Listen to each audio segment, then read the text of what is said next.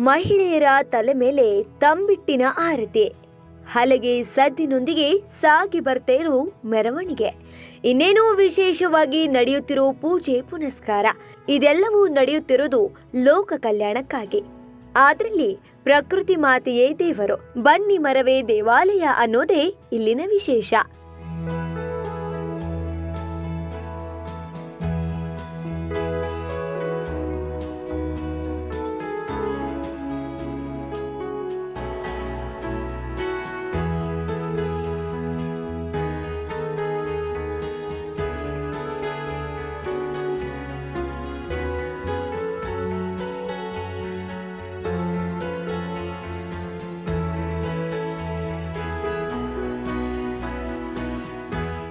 ಹೌದು. ಸಾಮಾನ್ಯವಾಗಿ ಲೋಕ ಕಲ್ಯಾಣಕ್ಕಾಗಿ ಸಾಕಷ್ಟು ಹೋಮ ಹವನಗಳನ್ನು ಮಾಡೋದನ್ನ ನಾವು ನೋಡಿದ್ದೇವೆ. ಮಂಡ್ಯದ ಕೆಆರ್ ಪೇಟೆಯಲ್ಲಿ ವಿಶಿಷ್ಟ ರೀತಿಯಲ್ಲಿ ಲೋಕ ಕಲ್ಯಾಣಕ್ಕಾಗಿ ಪ್ರಾರ್ಥನೆ ನಡೆದವು.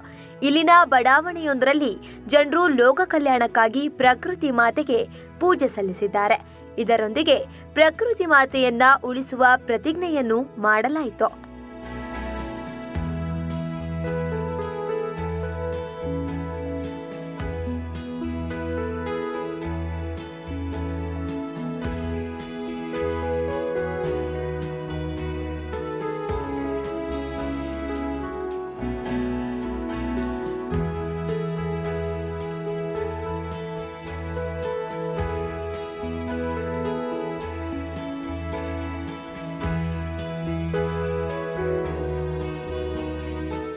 ಕೆಆರ್ ಪೇಟೆಯ ಬಡಾವಣೆಯ ತೋಟವೊಂದರಲ್ಲಿರುವ ಬನ್ನಿ ಮರದಲ್ಲಿ ಪ್ರಕೃತಿ ಮಾತೆ ಐಕ್ಯಳಾಗಿದ್ದಾಳೆ ಎಂಬ ನಂಬಿಕೆ ಈ ಭಾಗದ ಜನರದಾಗಿದೆ.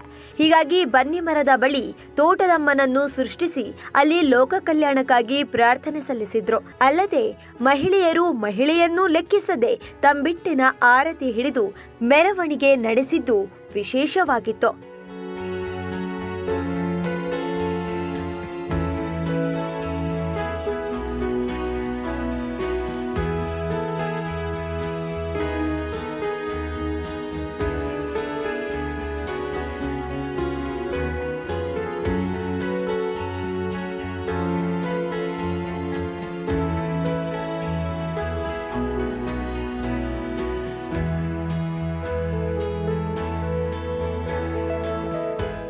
ಒಟ್ನಲ್ಲಿ ಪ್ರಕೃತಿ ಮಾತೆ ತೋಟದಮ್ಮನಿಗೆ ಭಕ್ತಿಯಿಂದ ನಮಿಸಿದ್ರೆ ಇಷ್ಟಾರ್ಥ ಸಿದ್ಧಿಸುತ್ತೆ ಅನ್ನೋ ಪ್ರತೀತಿ ಇದೆ.